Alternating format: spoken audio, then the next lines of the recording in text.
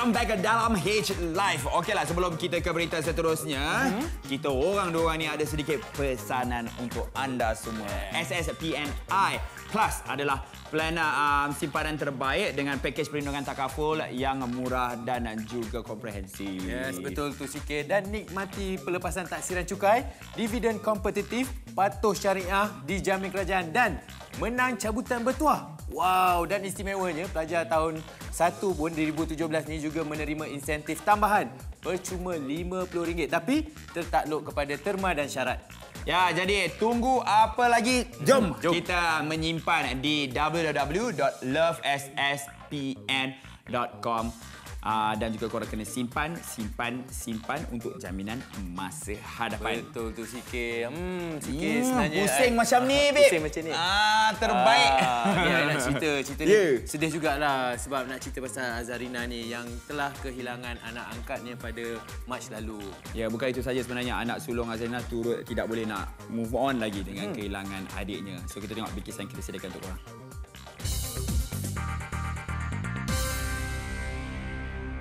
Raya kali ini uh, kurang lagi satu orang kan uh, dari dalam keluarga. So macam mana untuk menyambut raya kali ini? Susah ya nak jawab ya sebab saya seorang ibu kan tak kira apapun status um, anak adalah segala-galanya. Tapi saya juga ada tanggungjawab untuk membesarkan anak yang pertama Rahmat kan.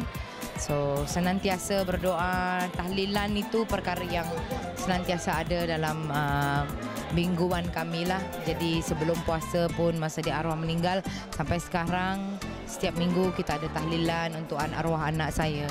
Saya saya sebagai seorang ibu kalau boleh tak naklah perkara ini tapi ini dia lebih disayangi. Dia dah diambil oleh yang Maha Pencipta Sang Kuasa. Um, saya mendoakan yang terbaik dan saya tahu dia menunggu saya di syurga. Kalau Allah izin satu hari nanti saya jumpa. Mesti sedih. Mana-mana ibu pun kalau kehilangan anak mesti sedih. Cuma saya kena menjadi lebih kuat untuk abangnya kerana abang dia selalu tanya mana adik, mana adik. So Uh, apa yang Kak Nina akan jawab bagi untuk tenangkan Kita cakap adik kat syurga. Tapi adik tak faham kan Dia tanya lagi balik Mami bila adik mau balik? Adik balik nanti kita jumpa adik dekat syurga